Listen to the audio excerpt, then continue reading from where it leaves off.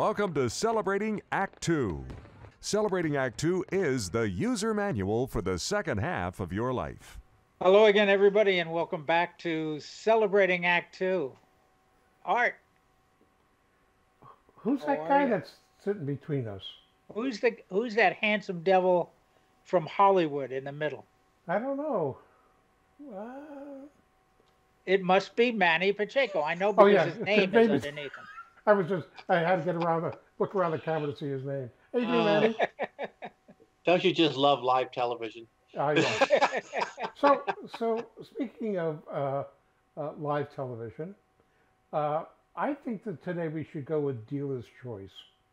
Okay, we don't really have a topic. We don't have like you know uh, uh, the best boat captains uh, of uh, uh, early Hollywood or uh, the greatest circus show or something. So why don't why don't you why don't you pick something? Pick a topic and and expound contempor- extemporaneously on it. I'll tell you what we're not going to pick is the circus topic. That's for sure. I was I was just clowning around. I get it. Uh, I know that one of the favorite character actors uh, that, John just loves to uh, watch, eminently watch whenever he's on on on uh, television on one of the old movie channels, is Peter Lorre. Am I right about that?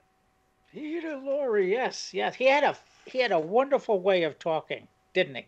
Yes, he was, did. was he?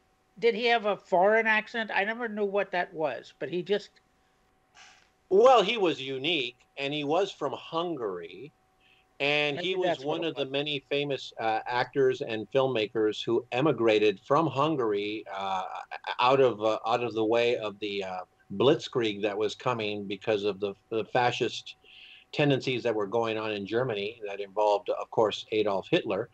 And uh, and we're the better for it because we were able to then uh, uh, grab him in Hollywood and and uh, get got to see what a great talent he was, and uh, he was this little menacing looking guy with a funny voice that was easy to cast, and the first person who noticed his work and wanted to put him in a movie was Alfred Hitchcock. One No of kidding. Alfred Hitchcock's first movies. Yeah, it was. I think it was one of his first British talkies and uh, so so Peter Lorre was able to um, follow Alfred Hitchcock uh, into the movie and, and movies, and, and he did very very well. Uh, his first breakout role in the United States was as a villain in, in the movie M. And if you've never seen this movie, boy, talk about a real creepy movie about a, a child killer. And, and and and for its time, it's pre-code, obviously, uh, so they could get away with a, a little bit more. They were actually pretty graphic in, in in what they were trying to convey, although they never really showed anything. But I mean, you really got the message that this guy was about as creepy as it gets. And M was his first um, his first real foray into um, American filmmaking, and, and he did a really really nice job with that. So he Now, wasn't- did he wasn't- always- He wasn't playing the heavy there. He was he was uh, a, a key character. He was the star, but he was the heavy, Yeah, and he was a coward on top of everything else. Yeah. But oh, okay. did he always play? Uh, was his career filled with only character actor uh, heavies and things like that? Well, he could play the heavy very effortlessly, and of course, uh, different studios could use him. Universal, of course, could find great work for for for an actor like that. But somehow he ended up falling in. He got lucky, although in, in a stereotyped kind of way, because of his look was so unique. That for a time he was able to play the uh, the, the Chinese sleuth, Mr. Moto, and uh, which is Oh. kind of like a Charlie Chan type of of- Sure, yeah. of Well, eh, that's before Asians were ever allowed to play Asians. That's right. that's Raymond exactly Burr. right. Raymond Burr used to play uh, uh, an Asian. Yeah, you know, uh, uh, Sidney Toler and Warner Oland, who were anything but Asian, were Char- Charlie Chan, and and the other actor who was notable for playing Mr. Moto was was the British Boris Karloff. So, I mean, what does that tell you? Wow. yeah. so for a time, you know, he was very comfortable in playing, um, uh, you know, a sleuth, albeit it was a very exotic sleuth in Mr. Moto. But he ended up um, falling in real closely with the Warner Brothers group. And particularly, he developed a keen friendship with Sidney Greenstreet uh, that started when they made the movie uh, The Maltese Falcon.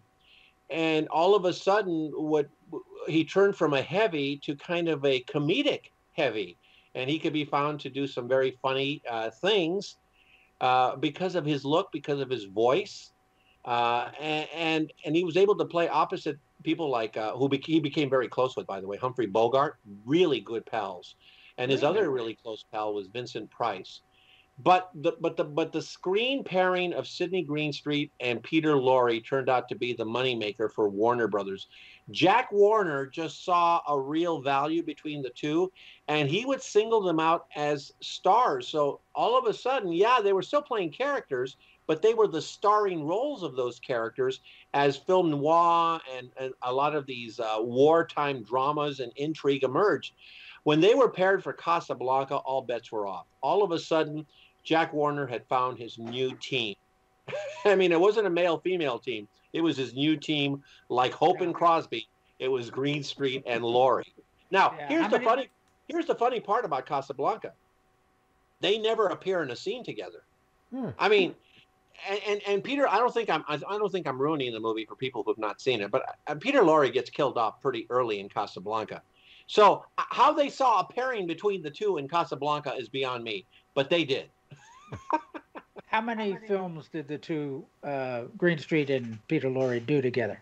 Do you know? They did seven films together in in uh, written dramas, and then they also appeared in one of those um, you know those war bond kind of films where you know they would appear in moments to kind of cheer up the troops that kind of thing oh, yeah. it was one yeah. of those things that would feature Ann sheridan and errol flynn and jack sure. carson and humphrey bogart and and, and sidney greenstreet and peter lorre appeared together and, and the movie was thank thank your lucky stars. So they, they were able to appear together in that movie but it was they, they appeared as themselves. That was the thing. Yeah. they were playing themselves.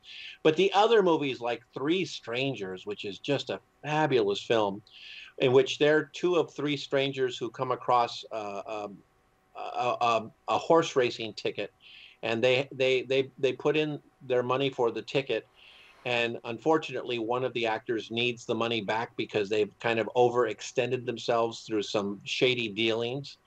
And so there the drama goes.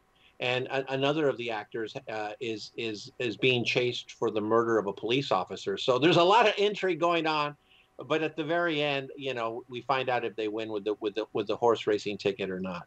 And it, and it's uh, three strangers is a really really wonderful film uh, and and that's one that you really you, you shouldn't miss. And of course, they were often again paired with Humphrey Bogart and Claude Rains, and maybe lesser known features like Action in the North Atlantic. I mean, we all remember Maltese Falcon and Casablanca. We don't necessarily remember Action in the North Atlantic, and uh, there they are again. Um, Sidney Greenstreet, the villain in this piece, but uh, Claude Rains returns, and, and and Peter Lorre is the friend to, to Humphrey Bogart. So there are uh, Passage to Marseille is another one just a great film. So there, there are there are some really marvelous films that that um, that Greenstreet and Lorre did together. Lorre was the more accomplished actor, been an actor longer. Uh, Greenstreet's career was only eight years. He became an actor at the age of 64.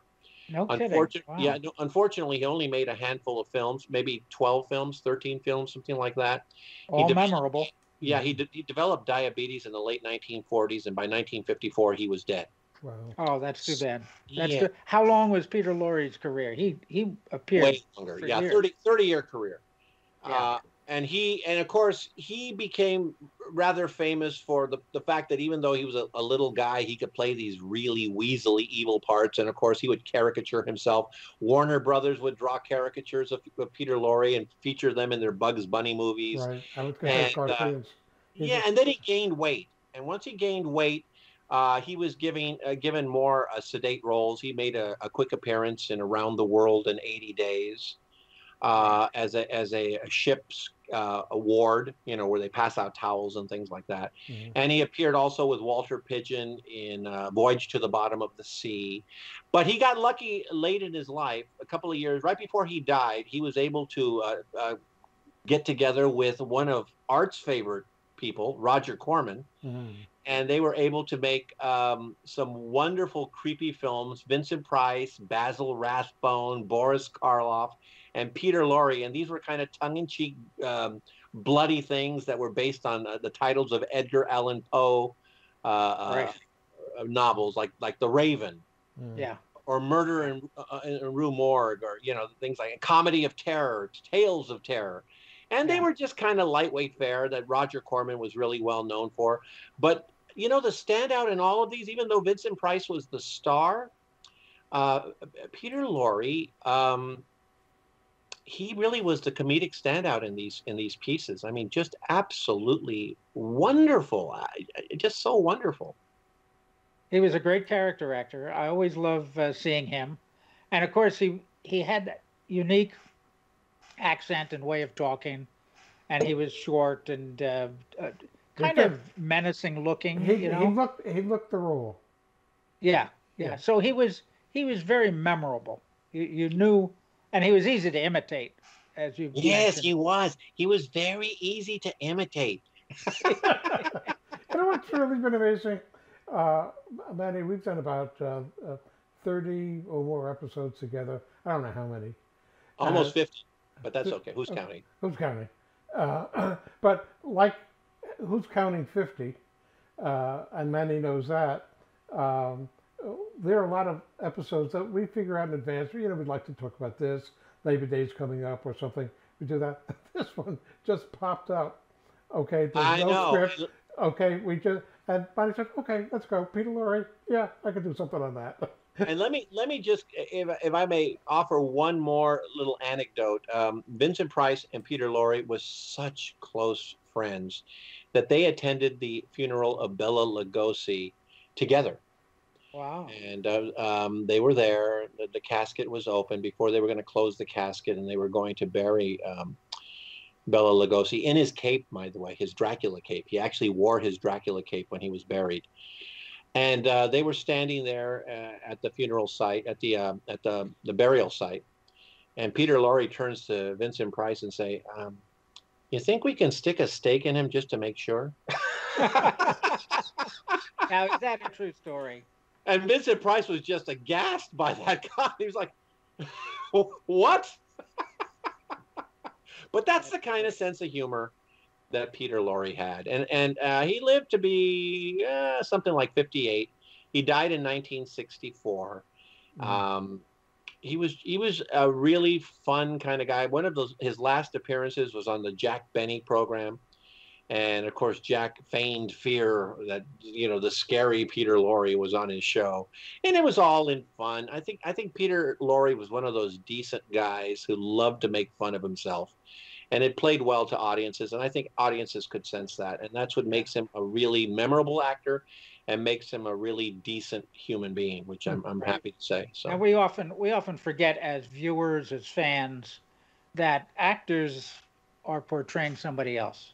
Mhm. Who we see on the screen is not who they are. right, I, there are A few. rare exceptions, but most of the time, people like Peter Lorre is nothing like his screen portrayals. Exactly. Yeah. a- a- Yeah. He was just he he was fun. Uh, You, you you always knew when he was there. He would he would just he was a scene stealer of the first Yeah. order. The one thing, though, I think that uh, we can agree on that this is the real Manny Pacheco. Okay, okay. What A scene stealer is- of the first order. Yes. Well, I don't think sure. you're I don't think you got the reasonable facsimile if that's what you're alluding to. No, I did you- no. I'm the real deal. Yeah, you are. Uh, Manny is the real deal, and uh, it's always great to talk to you. And uh, just, I'm still stunned that Peter Lorre. Okay, and there you go. So, is there anybody you don't know something about? Think about it, and then we'll have to have you do some research, and then. But I don't think there's almost anybody that you don't know something about that you couldn't do five minutes on. I don't know that I could do a whole 30 minutes or 15 minutes on Art Kirsch, but that's just a, that's something I'm going to have to do a lot of Well, research you could on. just you Yeah. could just look admiringly at the uh, at the monitor. With that, thank you very much, and we look forward to seeing you again soon. You bet. Thank you, Manny. For more on Celebrating Act Two, visit our webpage, follow us on Facebook, subscribe to us on YouTube, and tell your friends. Celebrating Act Two is the user manual for the second half of your life.